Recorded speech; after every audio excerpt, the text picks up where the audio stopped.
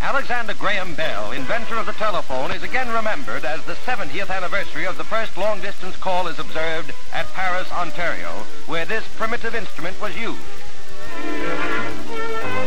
A far cry to the modern system with its thousands of operators and a myriad of trunk lines.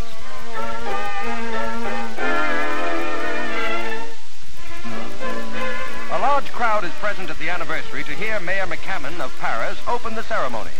George Dunlop and Reverend Hayes took part in that first experiment which covered eight miles from Brantford to Paris.